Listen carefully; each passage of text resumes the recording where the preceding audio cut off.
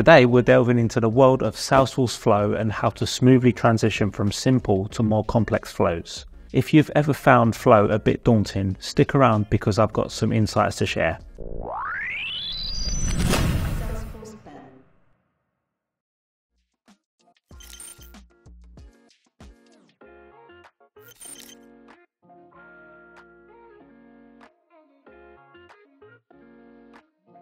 First off, let's address some common misconceptions about starting your flow journey. If you're a newbie, it's essential to set realistic expectations. Flow is not just a fancier version of workflow rules or process builder. It's a powerhouse capable of much more. So let's start simple and build up from there. No need to jump straight into complex flows and set yourself up for frustration. Before we go any further, I'd like to take a minute to thank this video's sponsor, Own Company. Own Company is a leading data protection platform that empowers organizations to protect, manage, and activate their SaaS data. To find out more, head over to salesforceben.com forward slash backup to get a free trial of Own and retake ownership of your Salesforce data. Once you've got a few simple flows under your belt, it's time to level up.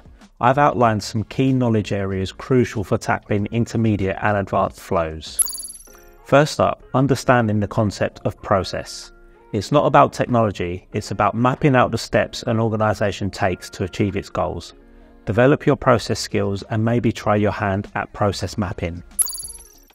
You need to know the essentials leads, opportunities, accounts, contacts, cases.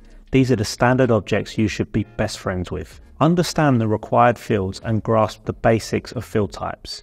It's not about memorization, it's about solid conceptual understanding.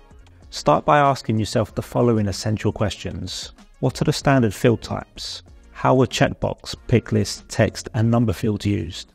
How can I pass one value from one field to another? Do I need to convert values and formats? Do I need a formula resource? Now, let's explore relationship types. Ask yourself questions like What are the available relationship types in Salesforce? How are objects related? And how can you grab the field values you need? Dive into the schema builder for this. Trust me, it's a game changer. If you're working with record triggered flows exclusively, you might not need a deep understanding of variables initially. However, when you venture into other flow types or involve loops within any flow, including record triggered, a good grasp of variables and collections becomes essential. Variables act as temporary containers for values in your flows, with various types designed for specific kinds of values, record variables in particular hold all field values for a specific record type. In some situations, you'll need to store multiple values together, and these containers are known as collections. Collections store several values for processing in your flow. Keep in mind the collection actions and elements are limited, often requiring looping through variables to process each member individually. Loops are crucial for handling multiple related records in a process. When working with flows, there are limitations tied to the number and types of elements used. To process multiple records, you often need to loop through them.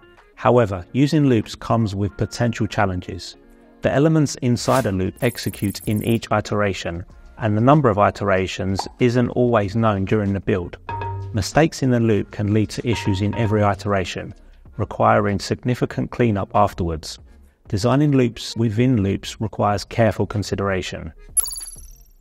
Flow fault handling involves creating paths that diverge when errors occur in flow elements.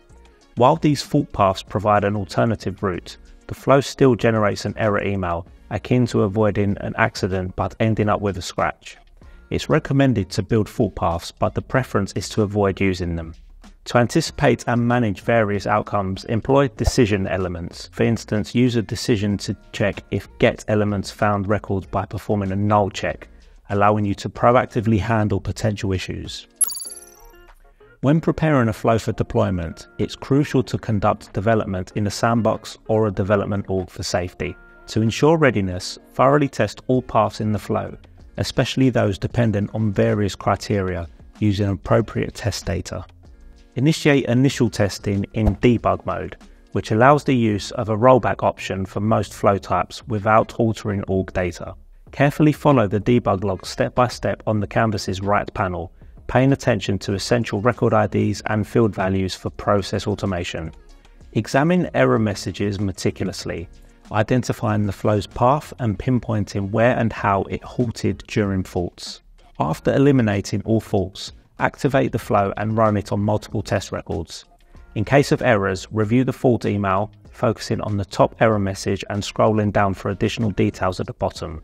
This information often includes specifics about the error, the executed element before the error, and is crucial for troubleshooting. And there you have it, the roadmap from simple to advanced Salesforce flows. Remember, start small, build your skills, and don't rush into the deep end.